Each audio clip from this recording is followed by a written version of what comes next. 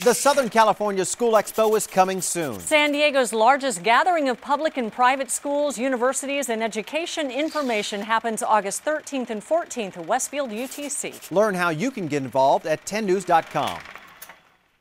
Covering major news across San Diego. 10 News starts with breaking news.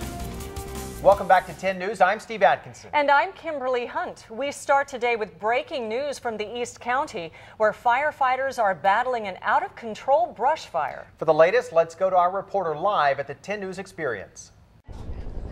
As you can see, this fire is moving up this hillside. The helicopter is dropping water trying to save homes. It's hot and dry out there, making it hard to fight the flames. This map gives you a good idea of how much this fire has spread. Back to you in the studio. Great job. For the latest breaking news updates throughout the day, turn to 10 News. And stay connected to major news anytime, anywhere on 10news.com. We'll be right back.